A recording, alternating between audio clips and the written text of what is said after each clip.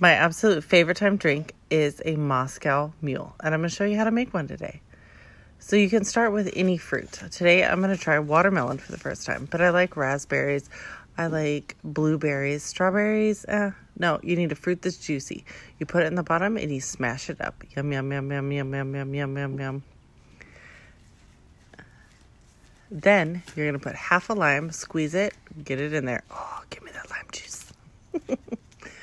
And then a shot of whatever vodka. Today I'm going to try watermelon Absolut because why not? Watermelon and watermelon. Yum, yum, yum, yum, yum. then you're going to put your ice in and then you're going to fill it up with ginger beer.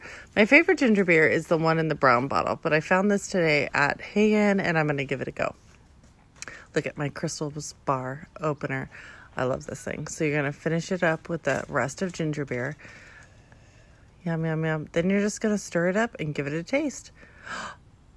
It was so good. It is so refreshing. It is the best summertime drink ever. Hope you enjoy. Have a good day.